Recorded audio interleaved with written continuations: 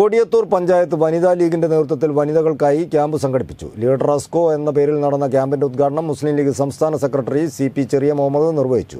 താങ്ങാനാവാത്ത വിലക്കയറ്റം അടിച്ചേൽപ്പിച്ചും മദ്യവും ബാറുകളും വ്യാപകമാക്കിയും ഇടതുമുന്നണി സർക്കാർ സംസ്ഥാനത്തെ എൺപത് ലക്ഷം കുടുംബിനികളെ ഒരുപോലെ ദ്രോഹിക്കുകയാണെന്ന് അദ്ദേഹം പറഞ്ഞു.